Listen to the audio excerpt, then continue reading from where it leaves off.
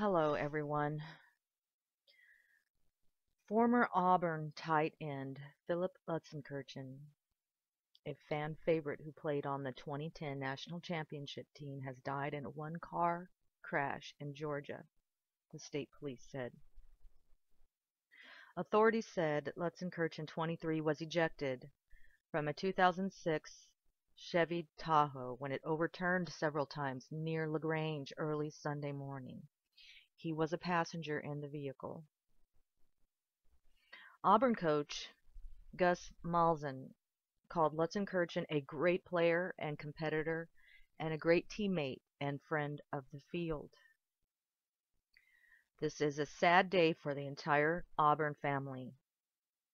I find peace knowing that even though Philip was taken from us too soon, that he lived his life to the fullest, leaving a lifetime of great memories for his family and friends to cherish forever.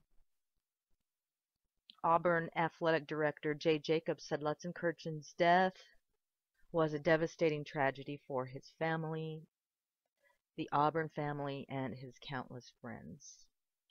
He's being described as someone who had a strong heart,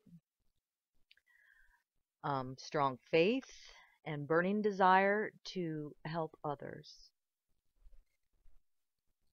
Driver Joseph Ian Davis, 22, was partially ejected from the vehicle and was also killed, investigators said.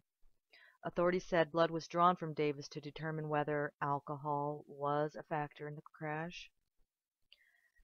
Um, troopers also said that 22-year-old Elizabeth Craig of Eatonton, Georgia, and 20-year-old Christian Case of Dadeville, Alabama, were injured. Lutzenkirchen set school records for tight end with 14 career touchdown catches and 7 during the 2011 season. He scored the winning touchdown against Alabama to preserve the national title run in 2010, performing an end zone dance later nicknamed the Lutzie. His Auburn career ended early when he opted to undergo hip surgery late in his senior season in 2012.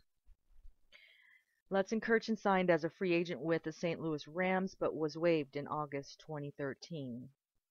He was a volunteer assistant coach at St. James School in Montgomery, Alabama, who was working at a wealth management company. Auburn players and co coaches posted tributes to Lutzenkirchen on Twitter.